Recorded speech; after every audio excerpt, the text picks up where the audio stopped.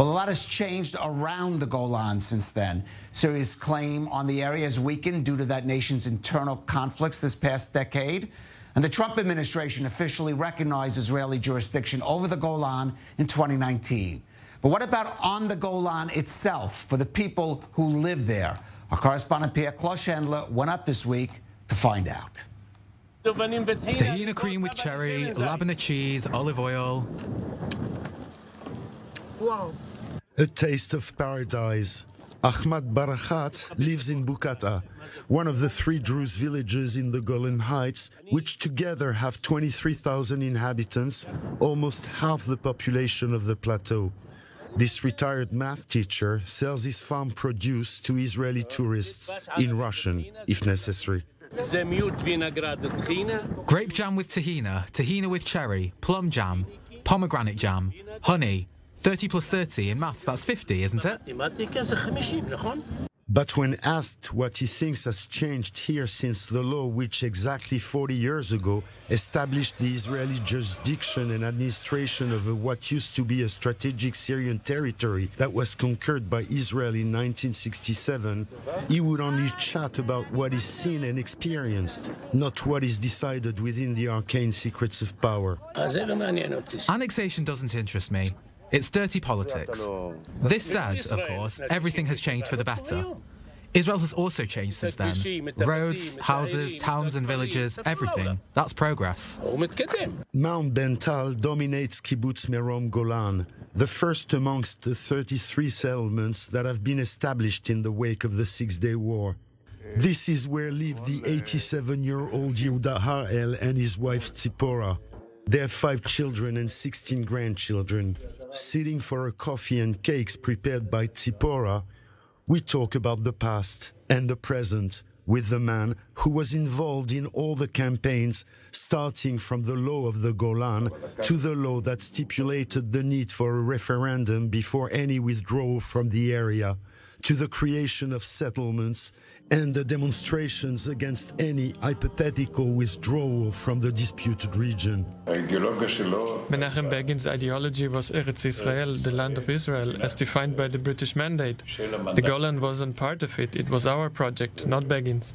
What influenced him was the emotion aroused by the imminent evacuation of the Sinai communities. The law was important, but not as important as the creation of 33 communities.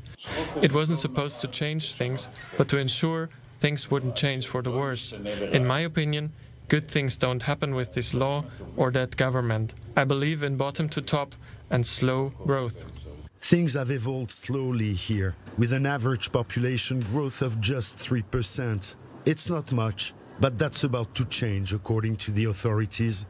The government is expected to convene here in the Golan on December 26 with one ambitious objective to double the Jewish population of the Golan by the end of the decade by creating two new settlements, by initiating the massive construction of housing units, and by promoting employment.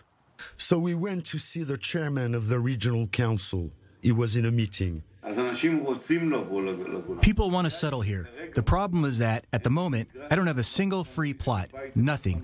Everything has been grabbed. Most people want to live in Tel Aviv. Plus, you don't need most people. We only need good and strong people.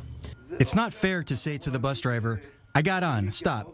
Close the doors. I feel claustrophobic. Our great outdoors will be preserved. Will hardly harm the environment. What's the Israeli dream? A beautiful villa with a garden on 5,000 square feet. Good schools, nature, clean air, good friends. It's here. We're starting to build our house there. In front of the RLs, to the rhythms of Nawar El Hassan, a Syrian singer who sought shelter in Lebanon, Druze from Majd al Shams built the heart of the Vandenberg's house, the anti missile shelter of reinforced concrete. The house itself will be made of wood. The home keys in a year. As for a vision for the Golan, some are loath to predict the future.